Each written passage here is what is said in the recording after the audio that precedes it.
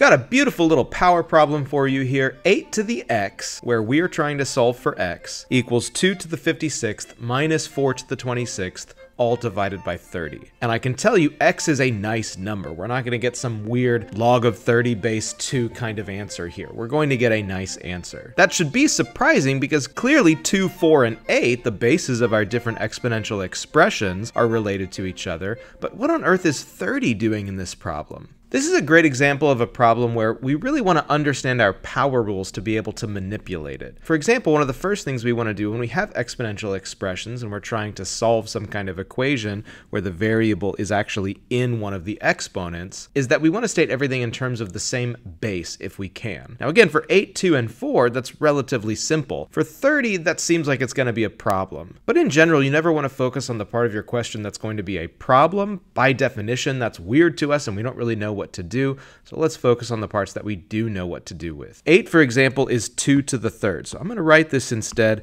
as 2 to the third to the x power. 2 to the 56th is already good. It's in terms of a base 2 already. But then 4 we're going to write as 2 squared instead. And so that becomes 2 squared to the 26th power. And again, this whole thing is divided by 30. Now, like I said, this is a great problem demonstrating that we genuinely understand what's going on with our power rules. For example, when you raise a power to a power, as we have in a couple different places in this expression, your power rules tell you to multiply those powers. So this becomes 2 to the 3x power, 3 times x, equals 2 to the 56th. We're still not doing anything there, minus 2 to the 2 times 26 is 52. Now at this stage, we have to be careful. Students are always tempted to say, oh, 2 to the 56th minus 2 to the 52nd, isn't that something like 2 to the 4th? But no, there is no special rule for subtracting different powers of a common base. We have rules for multiplying and dividing and raising powers to powers, but no special rules for adding or subtracting powered expressions with the same base. What we can do with those expressions, though, is factor out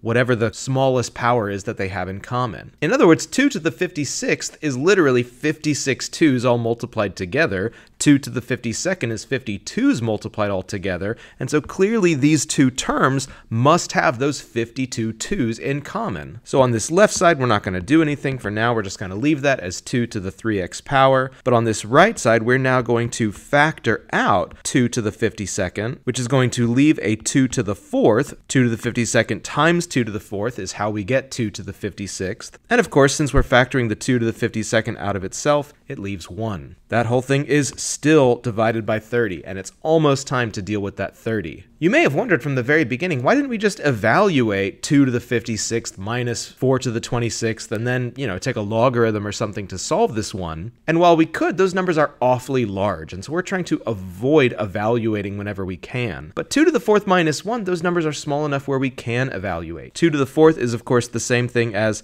16, and 16 minus 1 is 15. So in fact, this expression is the same as 2 to the 3x equals 2 to the 52nd times 15 over 30, and 15 over 30, of course, simplifies into 1 over 2, and finally, we get 2 to the 3x power is equal to 2 to the 51st power, using once again our power rules, subtracting those exponents because we are now dividing powers of 2. At this stage, we really don't need the bases anymore. Instead, it is simply the case that that exponent 3x needs to be equal to 51.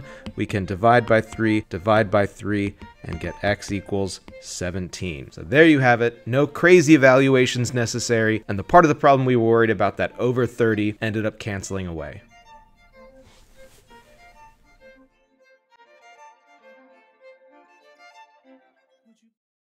I did not put you in low power mode. That's why this is happening.